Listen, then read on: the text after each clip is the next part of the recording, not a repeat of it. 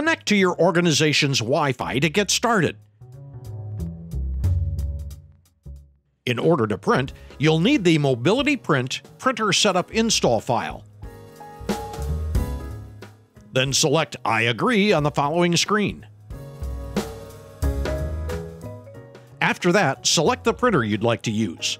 Then go ahead and type in your PaperCut credentials, which may be the same as your network username and password. On the next screen, click Finish. You're now ready to print. If you'd like to use another printer, simply run through these installation steps again for each one. Go to the document you want to print, select the printer you want to use, choose the settings you'd like, and click Print. Congrats! Your document is now printing.